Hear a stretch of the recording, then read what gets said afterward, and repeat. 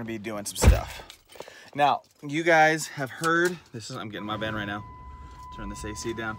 Now you guys have heard the verses, right? Everybody knows these verses. Anyone who's been in the gospel for a while knows the, the scripture verses that talk about selling everything you have and going to preach the gospel to every creature, every tribe, tongue, and nation, right?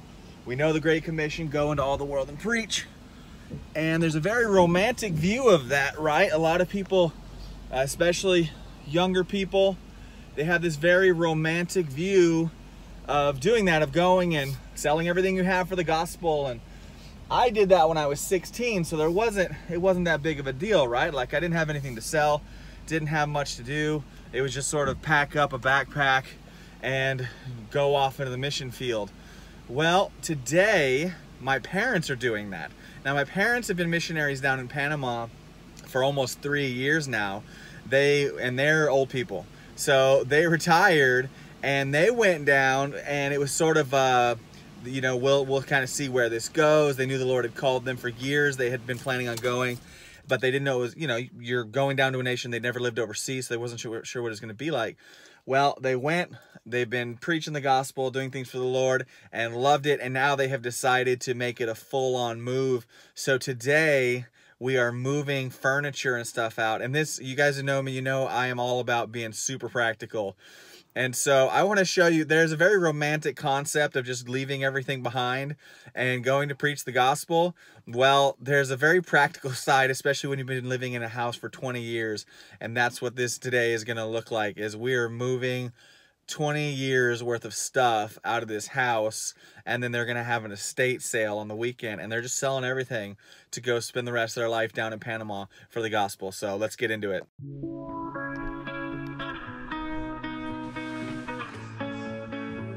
I am recording, yes.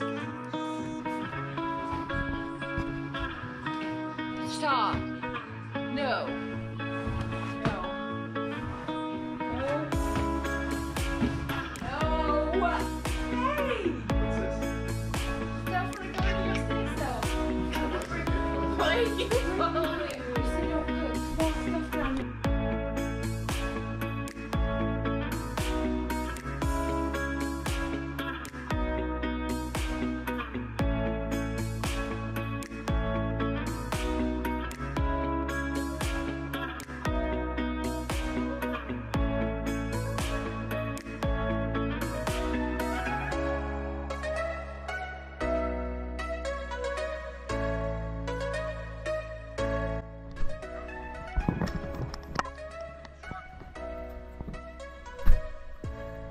was too scared to drive on her own.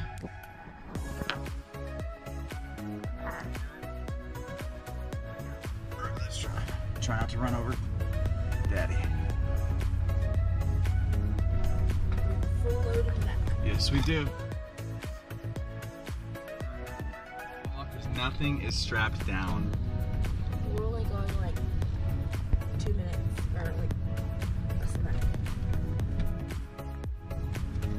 See the big blue dumpster? The big blue dumpster was rented to dump stuff.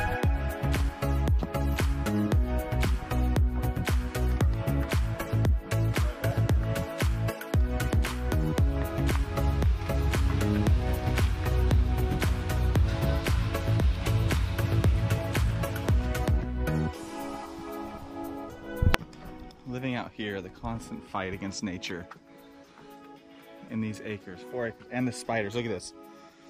I don't know if you can see this. There's spider webs everywhere. Look at that. I don't know if you can see them. These get wiped off. I don't think you can see them. But these get white like every day. See, we walk through this. See, this walkway. We come, we're on this every single day. And the spiders come out every night and rebuild their fortresses of destruction. Anna, where, where, why don't you tell people about your frappuccino you got going on there? There you go. This is her pistachio frappuccino that we try to duplicate using slime. Isn't it amazing? Like, wouldn't you want to drink it? If you smelt it, it smelled like shaving cream. I Yeah. better look good on this because what happens is- Anna has a YouTube video called Slime Time. Is that correct? Well, we're changing the name to Slime Tastic or something. Slime-tastic. Everybody has slime time. Slime Empress. Slime Empress. Slime Empress. And she's gonna wear a crown every time. Never agreed to that. I know, but I thought that would be A crown made of dried out slime. Yeah. So check No, out her what- YouTube channel. I have my lipstick on, and I'm a little vain, so this is really kind of bothers me. But um, what do you want to know? So okay, so we we moved to Panama three years ago in Volcan to um, do ministry with Found Found Found Ministries. Over the process of of it all, we decided that it is time to sell everything, and because we were coming back here and coming back here, we never knew. Well, what if we want to come back? What if we? But now we are.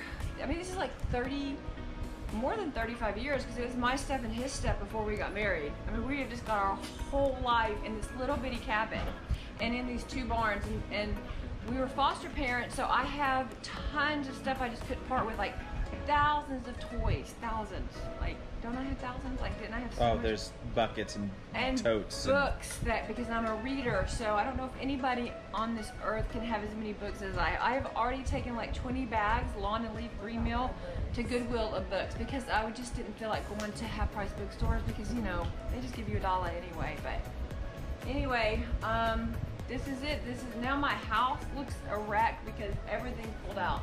And my daughter Anna over there, she makes slime.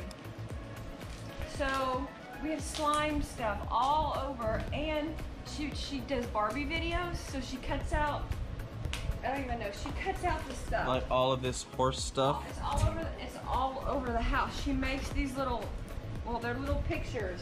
So she'll cut them out and she'll hang them on the walls of her house. But right now we're hoping with this estate sale because we want to go to Uganda with Found Ministries and we are hoping because it's expensive to sell enough stuff to be able to pay for our tickets. Right, but that you're yes, you're gonna go to Uganda with us, but you're moving to Panama. Like you're oh, selling Oh, we- this well, stuff, but you're in- we really live in Panama. but you're literally selling your house and your Everything. stuff and you are moving down to Panama. Okay, well we yeah we've been living in Panama, so we've just finally decided to get rid of it all because we never knew where we were going to come back. But we are going to get a small storage building because there are some books I just can't part with. Like really, I cannot part with some books and uh, photo albums and her first doll. You know stuff like that. I just can't. I just can't do. So we're hoping to find a cheap storage building that we could put our stuff in. And when we come back to visit, because all of our family is here, we'll probably stay in an Airbnb or something. It'll still work out to be more um, cost efficient than paying our mortgage on this house every month and insurance and taxes. I think that's good. This is the practical side of actual of actually Oh. selling everything you have and go. You're young and you haven't accumulated so much stuff, I don't know that it's easier, but because it's still emotionally difficult sometimes to leave everybody behind. But this is if you're older and you've accumulated your life like this, that's what it looks like.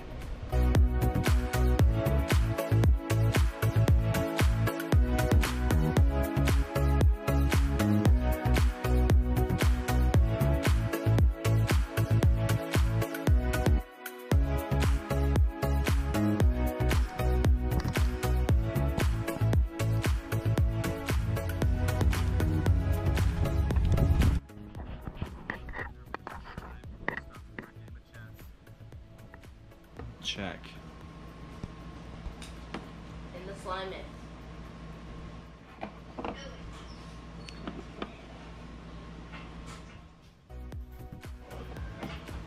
Well, now I'm just getting distracted. Oh, I can't go anywhere. Checkmate. Checkmate. I win.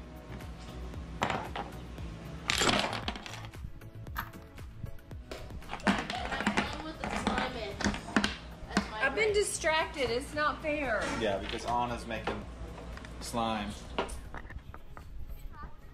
She's just distracting me. Order this awesomeness How? when we're ready and set up.